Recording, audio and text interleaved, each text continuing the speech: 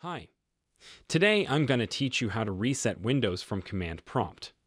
This tutorial is for Windows 10. It may or may not work in other Windows. Follow along. So first you need to open the Command Prompt. There are a few ways to do it. You can open Start menu and search for it. You have to right-click on it and run it as administrator. This is very important. But the best option will be to right-click on the Start menu and choose Windows PowerShell. Make sure to choose the one that says Admin. Here you will type systemreset.exe and then hit Enter.